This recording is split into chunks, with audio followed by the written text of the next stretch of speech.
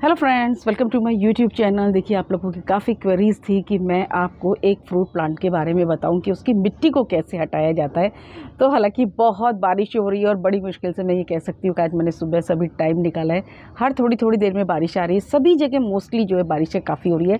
तो वीडियो बनाना बहुत मुश्किल होता है बट मैंने एक प्लांट रखा हुआ था कि मैं आपको, मैंने प्रॉमिस किया था कि मैं ज़रूर इस वीडियो को आपको शेयर करूँगी कि देखिए कुछ चीज़ें भी मैं शेयर करूँगी कि मैं किन किन चीज़ों का ध्यान रखती हूँ। और देखिए, आज मैं एक स्वीट थाई करौंदा के पौधे जो मैंने मंगाया था, उसकी मिट्टी को, हालाँकि मैंने कैटिमोन मैंने लगा दिया था, पर एक आपके लिए बचा के रखा। देखिए, टाइम से पौधे को लगाना भी बहुत ज़रूरी होता है। तो प्लांट्स की जो मिट्टी आती है, यानी कि जब भी हम कोई नर्सरी से लाएँ, कहीं से भी पौधे को लेकर आते हैं तो उसके रूट बाउंड में मिट्टी आती है। तो उसे किस तरीके से हटाना चाहिए, कितना हटाना चाहिए, वो आज मैं आपके साथ वीडियो में शेयर करूँगी। वीडियोज़ पसंद आए तो प्लीज़ ज़्यादा से ज़्यादा लाइक कीजिए शेयर कीजिए और सब्सक्राइब कीजिए। देखिए, मुझे भी जब आप ज़्यादा से ज़्यादा लाइक करते हैं कमेंट्स करते हो तो अच्छा लगता है और बहुत मोटिवेशन मिलता है। तो आज मैं इसी प्लांट्स के बारे में आपसे चर्चा करूँगी और इस मिट्टी के बारे में ही। और देखिए, मैं आपको दिखाऊँगी कि भी क्या मिस्टेक होती है अगर आप रूट बाउंड को तरीके से नहीं हटाते हैं तो। देखिए फ्रेंड्स ये मेरा प्लांट है। और आप देख रहे हैं, अभी कुछ टाइम पहले जब मैंने ख़रीदा था इसे और मेरे, मैंने कहा था कि मेरी काफ़ी लेट डिलीवरी हुई थी या जो भी एक कुछ रीजंस रहा था फेस्टिवल सीज़न की वजह से तो मेरा प्लांट्स बिल्कुल येलोइश पत्तियाँ हो गई थी तो बट मैंने यही कहा था कि ये ठीक हो जाएगा। इसीलिए मैं कहती हूँ कि गार्डनिंग में ना पेशेंस का दूसरा नाम है। अगर मैं उसी समय थोड़ा अपसेट हो जाती और इस प्लांट के साथ ऐसे ही छोड़ देती या कुछ नहीं करती तो देखिए आज ये देखिए सिर्फ़ आठ दिन हुए इस पौधे को आए हुए। जिस दिन मेरे पास ये पौधा आया था, काफ़ी कंडीशन इसकी ख़राब हो गई थी। और आप देखिए, कितना हरा भरा पूरा बुशी हो गया है। और नए फुटाव भी शुरू हो गए। इसीलिए हम कहते हैं कि जो बारिशों के दिन होते हैं या फेबररी का सीज़न होता है, हमेशा प्लांट के लिए बेस्ट होता है। तो यहाँ पर आज जो मैं आपको बता रही हूँ, आप किसी भी प्लांट के साथ आप करेंगे, लेकिन आप एक चीज़ आपको और देखनी पड़, अगर आपकी मिट्टी सैंडी है, यानी कि सैंडी सॉइल में आ रहा है आपका पौधा, जैसे मैंने एक आम का पौधा लगाया था, बिल्कुल सैंडी सॉइल थी, हालाँकि उसमें रेड वाली जो सॉइल थी ना, वो बजरी टाइप जो होती है, वो थी तो एज इट इज़ उस पौधे को आप लगा दिए। कोई छेड़छाड़ करने की ज़रूरत नहीं है। तो स्टेप बाय स्टेप मैं आपके साथ शेयर करूँगी कि इस पॉलीथीन को हटाने से लेकर वहाँ तक। तो देखिए, इस तरीके से जैसे कि मेरा ये प्लांट आया था, बस मैंने आठ दिन इसको बिल्कुल छोड़ दिया रेस्ट करने दिया और मुझे मत, पता था ये ठीक हो जाएगा तो देखिए प्लांट्स ठीक हो गया। तो इसलिए मैं ये कहती हूँ कि जल्दबाजी नहीं करें गार्डनिंग में। तो देखिए, सबसे पहले तो हम एक काम करेंगे, जैसे कि ये जो पॉलीथीन है मेरी, इसको कभी भी हम लोग थोड़ा सा इसमें देखिए कांटे हैं तो थोड़ा स्पेशली ध्यान से काम करना पड़ेगा। कभी भी पॉलीथीन को ऐसे नहीं खींचे, जैसे कि ये है। कभी भी ये गलती मत करना। ये तो फिर भी हो सकता है मे बी इस समय गीला है रूट बाउंड तो निकल जाए। जो सैंडी सॉइल में अगर होगा ना, अगर आपने इस तरीके से खींच के निकाला तो क्या होता है? नीचे की मिट्टी नीचे, आधा टूट जाएगा, बीच में से इसका रूट बाउंड टूट जाएगा। तो ये चीज़ें मैं छोटी छोटी सी पूरे वीडियो में आपके साथ सारी टिप एक एक शेयर करूँगी। पूरा वीडियो आप ध्यान से देखिए। और साथ ही कभी भी इसको हमेशा सीज़र से ही खोलने की कोशिश कीजिए। यहाँ से सीज़र से सावधानी पूर्वक कट करने की ज़रूरत है। अक्सर हमको क्या कहता है, ऐसे पकड़ा मैंने देखा है, जो माली लोग भी करते हैं ना, बस ऐसे लिया और उसे निकाला और लगा दिया। मे भी हो सकता है आपका हमेशा सही हो, लेकिन गलती से अगर उसका रूट बाउंड नीचे से, क्या होता है, अगर पूरा रूट बाउंड टाइट बंधा हुआ तो कोई दिक्कत नहीं, लेकिन बीच में से अगर लूज़ हुआ ना तो वो क्या होगा, नीचे आधा रह जाता है, ऊपर आधा, यानी कि आपने आधा पौधा ख़राब कर दिया। अब इसको क्या है? पॉलिथ ये जो सीज़र है ना, इसको रखिए। अब हमारे पास सीज़र होती है, उसका यूज़ किए। बस इस पॉलीथीन को यहाँ से इस तरीके से आपको सीधा सीधा कट करना है।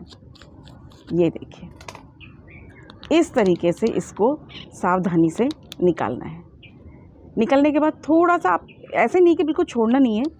आप देखेंगे कि आप, देखिए इसमें काफ़ी सारी रूट्स नई डेवलप हो रही हैं और पौधा तभी एकदम से हेल्दी हो गया। तो देखिए, वैसे भी जो ये मेरा काफ़ी हार्डी प्लांट है इस समय पौधे बहुत अच्छे से सर्वाइव करते हैं। तो ये निकालने के बाद हम नेक्स्ट प्रोसेस करेंगे। अब देखिए, इसमें ना थोड़ी चिकनी मिट्टी है।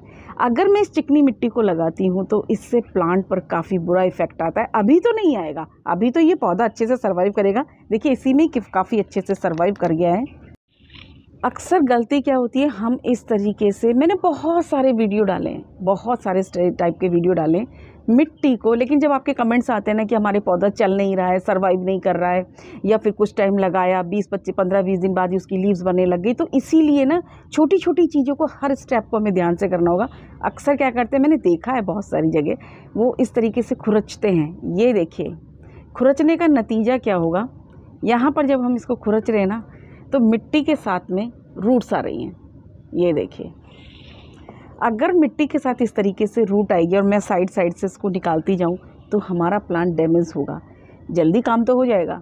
बट करना भी क्या है इतनी जल्दी का? इसके लिए मैं जो काम करती हूँ, देखिए मैं फिर क्या करती हूँ, अपनी मिट्टी का या जो गड्ढा बनाना होता है, मिट्टी के अंदर यानी कि होल बनाना होता है। अगर ज़मीन में लगाने चाहिए जैसे एक डेढ़ बाय डेढ़ फुट का जो गड्ढा बनाते, आप उस काम को कर लीजिए। गमले में भी आपको बहुत सारे काम करने हैं फर्टिलाइज़र्स अपने इकट्ठे कर लीजिए। तो इस तरीके से जो है आपने अपना रूट डाउन आसानी के देखिए कितनी अच्छे से निकल गया है। सैंडी सॉइल ज़्यादा है, ये देखिए बहुत ज़्यादा चिकनी मिट्टी मेरी बहुत इस बार चिकनी मिट्टी खट्टी हो गई है, क्योंकि वहाँ से जो प्लांट्स है, ये देखिए बहुत स्टिकी है। अभी तो कोई प्लांट को कोई प्रॉब्लम नहीं होगी सर्वाइव करेगा मे बी नेक्स्ट सीज़न पे फूटिंग भी करे। बट अगर स्ट्रीम कंडीशंस आ जाती हैं, बहुत ज़्यादा गर्मी हो जाती है, बहुत ज़्यादा बारिशें हो जाती हैं, जैसे कि इस समय कंटिन्यूस बारिश हो जाती है तो हमारे जो ये रूट्स है ना, इसको ना अगर थोड़ा सा हम इसको लूज़ कर देंगे ना, देखिए मैं ऐसा क्यों करती हूँ? एक छोटा सा एक साइंटिफिक रीज़न ही है। इसको अगर मैंने थोड़ा हटाना नहीं है, पूरी मिट्टी को नहीं हटाना है हल्का सा अगर मैंने इसे लूज़ कर दिया तो साइड रूट्स तेज़ी से गमले के अंदर, जिस गमले में हम लगा रहे हैं और जिस मिट्टी में हम इसको लगा रहे हैं, वहाँ तेज़ी से एक्वायर करने लगी। जल्दी हमारा पौधा ग्रोथ करेगा। और अगर इसको हमने डायरेक्ट ऐसे ही लगा दिया तो रूट्स को थोड़ा सा बाहर आने में प्रॉब्लम होती है और हमें टाइमिंग लगेगा हमारे पौधे को ग्रोथ होने में। और अगर इसको लूज़ मिला रूट लूज़ हुई तो तेज़ी से मिट्टी के अंदर बढ़ेंगे और तेज़ी से हमारा प्लांट ग्रोथ करेगा। तो इसके लिए किसी भी, जैसे कि हमारा ये पौधा है तो किसी बड़े डब्बे में या टब में और या बकेट में, उसमें आप पानी डालिए और इसको रख दीजिए। और देखिए फ्रेंड्स ये जो मैंने ना बकेट रख ली है और ये मेरा है प्लांट और ये इस बकेट के अंदर जाएगा और ये करेगा थोड़ी देर के लिए रेस्ट मुझे कुछ नहीं करना है। ये जिसे जो करना है, वो करना है। धीरे धीरे इसमें जो है, पूरी मिट्टी अपने आप, मुझे हटानी, घोलना नहीं है, ज़्यादा कुछ नहीं करना। थोड़ा सा रूट बाउंड को लूज़ करना है और ज़्यादा कोई मशक्क़त नहीं करनी है। देखिए फ्रेंड्स मेरे एक प्लांट ना इस तरीके से ख़राब हुआ था। ये देखिए, जबकि जबकि ऐसा कभी होता नहीं है। इस बार जो एक्सट्रीम कंडीशन पर गर्मी थी ना उसका रूट डाउन नया पौधा था। लगाया तो मैंने ना बहुत कम मिट्टी थी तो इसे हटाया नहीं। मुझे लगा कि चलिए इतना ज़्यादा ज़रूरी नहीं है। ऐसा नहीं प्लांट ने कुछ दिन ग्रोथ की। उसके बाद इसकी जड़ें इसमें से बाहर निकल पाई। अगर इसका रूट बाउंड मैंने थोड़ा सा लूज़ किया हुआ होता, देखिए ऐसा मैं ये नहीं कहती कि आप जो भी पौधे लगाएँगे, उन सब में ऐसा हो जाएगा, ऐसा नहीं होगा। बट हमें अपने प्लांट की सेफ्टी मैं ये अपने एक्सपीरियंस के साथ आपके साथ शेयर कर रही हूँ। थोड़ा सा अगर आप रूट बाउंड को लूज़ कर देंगे एक्सट्रीम कंडीशन जैसे मान के चलिए विंटर आने वाली है, हम दो, हम लोगों की दिल्ली में बहुत सर्दी पड़ती है, बहुत जगह ऐसी होती है, बारिशें बहुत ज़्यादा होती हैं, तब उस समय ना बारिशों में भी क्या होगा, इस तरीके की मिट्टी होगी, उसमें पानी ज़्यादा जाएगा और उसके बाद क्या होगी जड़ें ख़राब होने का डर बहुत ज़्यादा होता है, यानी कि जड़ें सौगी हो जाएगी, उसमें पानी, इसकी वजह से हो सकता है पानी आपका वहाँ पर रुक जाए। सॉइल तो मैंने वेल्ड्रन प्रिपेयर कर दी, मान के चलिए, हमने वेल्ड्रन बना ली, हम कहते हैं कि वेल्ड्रन सॉइल बनाए वेल्ड्रन सॉइल बनाए, लेकिन अगर इस तरीके का रूट बाउंड अंदर होगा तो वो पानी वहाँ पर रुक जाएगा और आपके पौधों को नुकसान कर सकता है। इस बार मैंने चौदह फ्रूट प्लांट लगाए हैं, चौदह से ज़्यादा ही हो गए, सोलह हो गए तो मैंने इस काम को ज़रूर किया, ताकि क्योंकि देखिए, मैं आज एनवायरनमेंट में बहुत चेंजेस आ रहे हैं तो एक्सट्रीम कंडीशन से हमें अपने पौधों को बचाने के लिए इस प्रोसेस में हालाँकि जब बहुत ज़्यादा इस तरीके के प्रॉब्लम होती है बहुत मिट्टी स्टिकी होती है तो हमेशा इस प्रोसेस को अपनाती हूँ। बट यही हुआ था कि कुछ एक पौधों में मैंने कहा, चलिए, चल जाएगा, कोई नहीं, छोटा सा ही रूट बाउंड है। बट इतनी ज़्यादा गर्मी की वजह से ऐसा हुआ, मैंने अपने पौधे को कम से कम चार मिनट हो चुके हैं। और देखिए पेशेंस रखना पड़ेगा, यहाँ पर रखा हुआ है ये, और धीरे धीरे इसका रूट बाउंड लूज़ हो रहा है। और ये देखिए, अगर जल्दबाजी नहीं करनी है, कुछ भी नहीं करना है बस छोड़ना ही तो है थोड़ी देर। फिर देखिए, एक बार थोड़ा सा आपको समय ज़रूर लगेगा पौधा लगाने में। इसीलिए मैं हमेशा आप लोगों से कहती हूँ कि जब भी आप पौधे लगाएँ, ये देखिए धीरे धीरे रूट बाउंड अपने आप लूज़ हो रहा है। अभी सारी जड़ें बाहर आने लग गई है। हमें कोई सारा थोड़ी ना हटाना है। अगर आधी तरफ़ से भी मान के चलिए आपने हटा दिया तो आधी जड़ें इधर से सारी ग्रोथ कर जाएँगी। भले ही आपको स्टार्टिंग आप कर रहे हैं, आपको ऐसा लग रहा है कि आपसे ये काम नहीं हो पाएगा तो आप पूरा मत हटाइए। इतना भी हटा के लगा देंगे, इधर का पोर्शन तो पूरा, देखिए लूज़ हो गया है रूट बाउंड बस थोड़ी सी टाइम में और रखूँगी इसे अभी, क्योंकि मुझे इस साइड से थोड़ा सा रूट बाउंड और लूज़ करना है। और इस मिट्टी का जैसे भी आप चाहें यूज़ कर सकते हैं। हालाँकि मैं तो कम ही यूज़ करती हूँ। कमल के पौधे वगैरह लगाने के लिए इस मिट्टी का इस्तेमाल कीजिए। बहुत सारे पौधे ऐसे होते हैं जो चिकनी मिट्टी में काफ़ी अच्छे चलते हैं। और देखिए फ्रेंड्स इस तरीके से हमारा रूट बाउंड लूज़ हो गया है। आप बस, अगर आप थोड़ा सा प्रोफेशनली और कर सकते हैं तो मैं थोड़ा सा और करती हूँ इसको। तो इस तरीके के भी आप कर देंगे ना, उसके बाद आपका काम हो जाएगा और अपने पौधे को लगा दीजिए। ये देखिए इसका रूट बाउंड काफ़ी जो है लूज़ हो गया है। मैंने कुछ भी नहीं किया आपके सामने, सिर्फ़ इस बकेट के अंदर इसे रखा हुआ थोड़ा सा इंतज़ार ज़रूर किया। और अब इसके ऊपर मैं जो लगाती हूँ ना फंगी साइड लगाती हूँ। अगर खूब बारिशें भी हो रही हैं, मान के चलिए तो फंगस का डर रहता है। तो बारिशों में अगर आप इस पर थोड़ा सा जो है फंगी साइड आप डाल देंगे, फिर आपके साथ इसमें फंगस की भी प्रॉब्लम नहीं आएगी और आपका पौधा पूरी तरह से सुरक्षित रहेगा और आप इसे वेल ड्रेन सॉइल प्रिपेयर कीजिए और गमले में लगा दीजिए। बस लाने के बाद मैंने आठ दिन इस पौधे को रखा था और देखिए बिल्कुल हेल्दी हो गया। तो इस तरीके से आप चाहें तो थोड़ा सा रूट बाउंड और लूज़ कर सकते हैं और इसके बाद इस पर थोड़ा सा फंगी साइड ज़रूर डालिए ताकि फंगस जो है पौधे को ना लगे।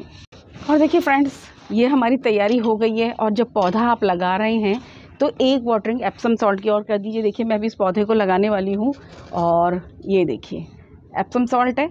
इसकी एक वाटरिंग आप कर दीजिए। फिर उसके बाद ना पौधा आपका पूरी तरह से सुरक्षित रहेगा। ये एक छोटा सा प्रोसेस था, आप इसको करिए।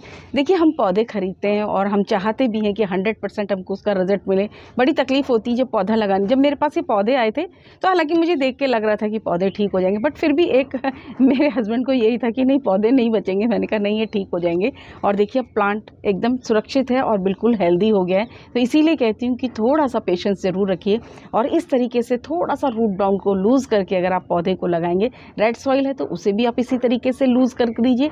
और अगर आपका चिकनी मिट्टी है, और सेंडी सॉइल है तो कोई ज़रूरत ही नहीं है आपको। रूट बाउंड भले ही छोटा हो बट उसे थोड़ा सा लूज़ ज़रूर करें। वीडियोस पसंद आए तो प्लीज़ लाइक शेयर सब्सक्राइब ज़रूर कीजिए और ज़्यादा से ज़्यादा शेयर कीजिए। Thank you